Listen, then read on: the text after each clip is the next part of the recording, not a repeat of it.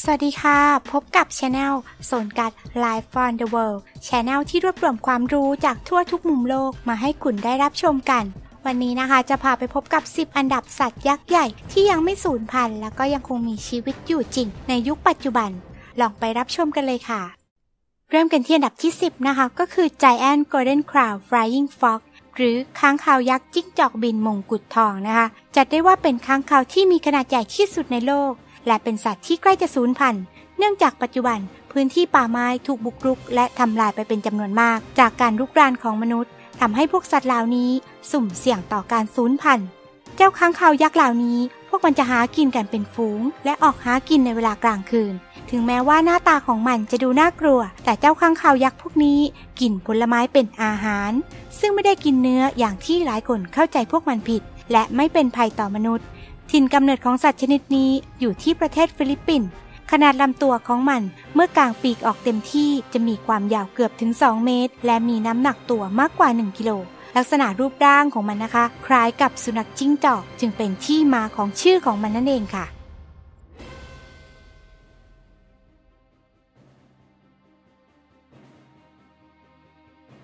มากันที่อันดับที่ 9 นะคะ ก็คืองูอนาคอนดา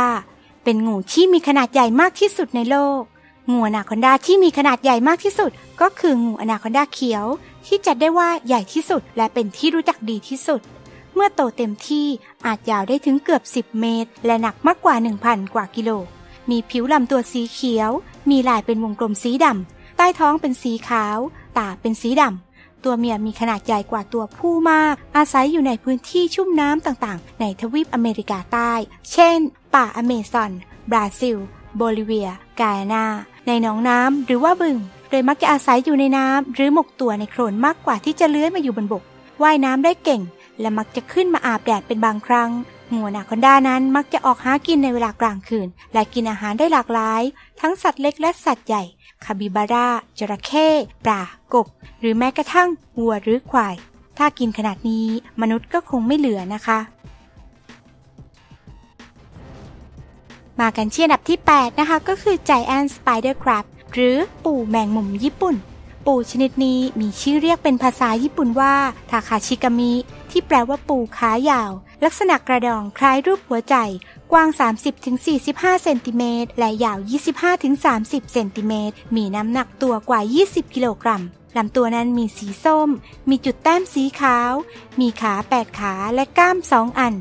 เวลาแผ่ขากางออกวัดจากปลายเท้าข้างหนึ่งไปยังปลายเท้าอีกข้างหนึ่งได้กว้างมากถึง 8 เซนติเมตร เวลายกก้ามหนีบขึ้นต่อสู้กล้ามแต่ละข้างอยู่ห่างกันประมาณ 3 เมตร กระดองและขา มีลักษณะครุขระ เป็นปุ่มน้ำ ถิ่นที่อยู่อาศัยตามธรรมชาติ นั่นก็คือแถบมหาสมุทรแปซิฟิก ที่มีความลึกถึง 300ถึง400 เมตร และมีอายุยืนได้ถึง 100 ปีเลยทีเดียว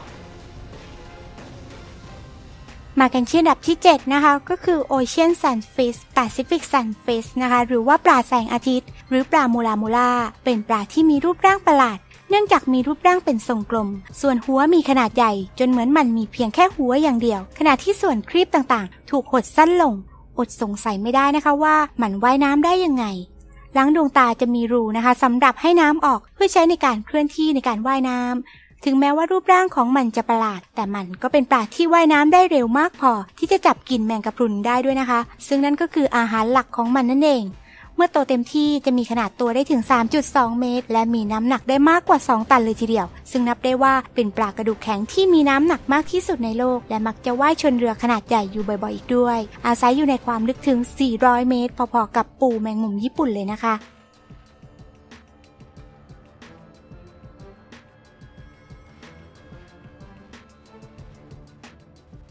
มากันที่อันดับที่ 6 นะคะ ก็คือ f r e m i c Giant Rabbit หรือกระต่ายยักษ์ f r e m i c Giant กระต่ายยักษ์ที่มีถิ่นกำเนิดที่แฟลนเดอร์สทางตอนเหนือของประเทศเบลเยียม สายพันธุ์นี้กำเนิดขึ้นในช่วงต้นศตวรรษที่ 16 ที่อยู่ใกล้กับเมืองเกนต์ในเบลเยียม กระต่ายยักษ์เป็นที่เชื่อกันว่ามันเป็นสัตว์ที่ผสมมาจากพันธุ์ให้เนื้อและพันธุ์ให้ขน กระต่ายยักษ์มีชื่อเล่นหลายชื่อ ชื่อเล่นแรกของมันก็คือ Gentle Giant ที่แปลว่า กระต่ายยักษ์ใจดี เพื่อแสดงให้เห็นว่ากระต่ายนั้นเป็นมิตรกับคน และอีกชื่อเล่นหนึ่งนะคะ นั่นก็คือ Universal Rabbit ที่แปลคร่าวๆได้ว่าโลกของกระต่ายนั่นเองนะคะสำหรับกระต่ายยักษ์ชนิดนี้ กระต่ายตัวเมียจะมีน้ำหนักมากกว่าตัวผู้ โดยจะโตเต็มที่เมื่ออายุครบ 1 ปี และมีน้ำหนักมากที่สุดถึง 10 กิโลกรัมเลยทีเดียวท่าทางจะกินจุไม่เบานะคะ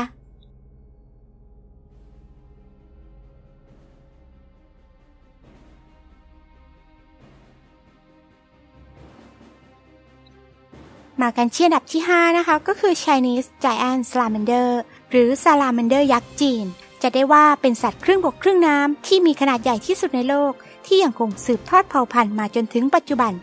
มีลักษณะรูปร่างหัวกลมแบนใหญ่ลำตัวแบน ตาเล็ก ปากกว้าง ภายในปากมีฟันขนาดเล็กจำนวนมาก ที่สามารถใช้ขบกัดได้เป็นอย่างดี หางยาว มีแผ่นหนังคล้ายครีบ ขาสั้น มีสี่นิ้วลำตัวสีน้ำตาลกระหรือดำ และสามารถเปลี่ยนสีได้ตามสภาพแวดล้อม ดูดูแล้วเหมือนลูกอ๊อดบ้านเรานี่เองนะคะ ขนาดลำตัวของมันเมื่อโตเต็มที่จะมีความยาวได้เกือบ 2 เมตร น้ำหนักมากกว่า 50 กิโลกรัม ซึ่งปัจจุบันซาลาแมนเดอร์ยักษ์จีน อยู่ในสภาพที่ใกล้จะสูญพันธุ์อย่างวิกฤต เนื่องจากสภาพแวดล้อมที่อยู่อาศัยถูกทำลาย แถมยังถูกจับมาเป็นอาหารอีกด้วย แต่ก็ได้มีการเพาะขยายพันธุ์ซาลาแมนเดอร์ยักษ์ในจีนนะคะเพื่อนำไปทำเป็นอาหาร และเพื่อการอนุรักษ์ โดยมีราคาขายอยู่ที่กิโลกรัมละ 10,000 กว่าบาทเลยทีเดียว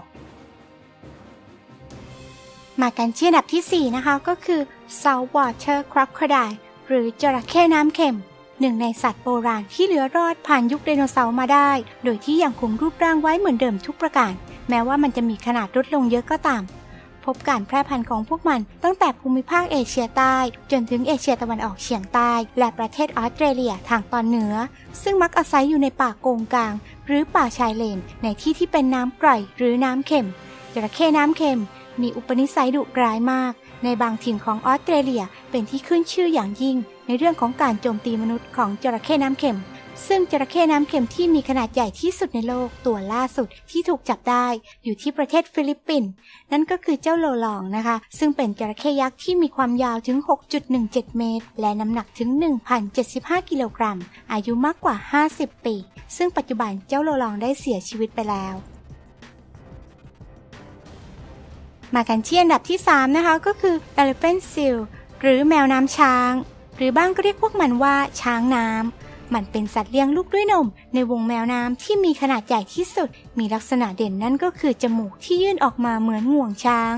ทุกใบไม้ผลิแมวน้ำช้างหลายพันตัว จะกลับมาเพื่อผสมพันธุ์บนชายหาดเดียวกับที่มันเกิดงวงที่เหมือนจมูกจะกลายเป็นหนึ่งในสัญลักษณ์ที่สำคัญของอำนาจและความดุร้ายในการผลิตเสียงคำรามที่ดังเป็นพิเศษ เพื่อใช้คมควันคู่ต่อสู้ พื่อที่จะเป็นราชาฮาเร็ม หรือถูกรายล้อมไปด้วยแมวน้ำสาวๆ ในฤดูผสมพันธุ์นั่นเองนะคะ ซึ่งแมวน้ำช้างตัวผู้เท่านั้นที่มีงวงยื่นออกมา และมีลำตัวใหญ่กว่าตัวเมียถึง 5 เท่า โดยสามารถโตได้ถึง 6 เมตร น้ำหนักกว่า 4,000 กิโลกรัมและตัวผู้เพียงตัวเดียวจะมีตัวเมียหรือว่าฮาเร็มเนี่ยมากกว่า 50 ตัวเลยทีเดียว ช่างน่าอิจฉาซะจริง ๆ นะคะ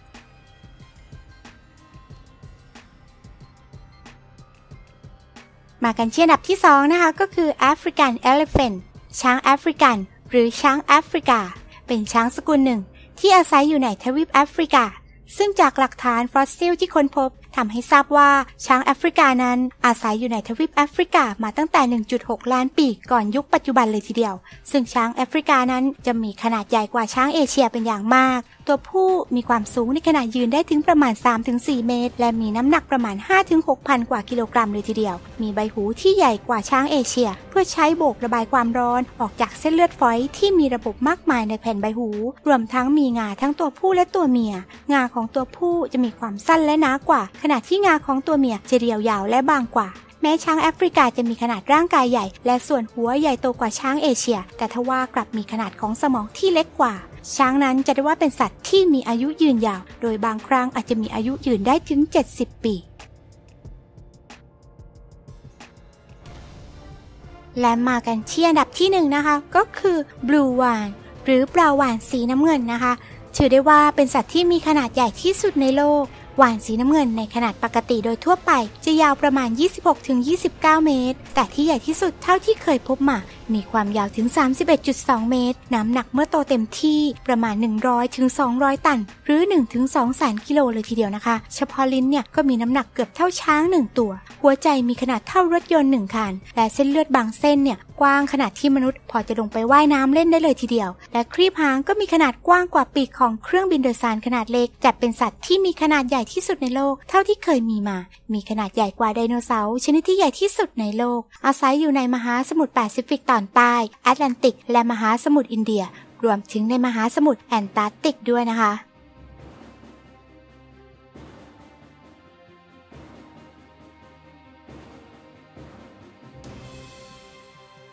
เป็นยังไงกันบ้างคะ คาดว่าคงมีหลายคนเคยเจอหนึ่งในสิบของสัตว์ยักษ์ที่นำมาแนะนำในวันนี้กันอยู่บ้างใช่ไหมคะ มีข้อมูลติชม หรือแนะนำชแนลก็คอมเมนต์ไว้ด้านล่างคลิปกันได้เลยนะคะ ถ้าชอบก็อย่าลืมกดไลค์ กดแชร์ กดติดตาม เพื่อเป็นกำลังใจให้ด้วยนะคะ ขอตัวไปหาคลิปใหม่ๆ มาฝากเพื่อนๆกันก่อนนะคะสำหรับวันนี้ สวัสดีค่ะ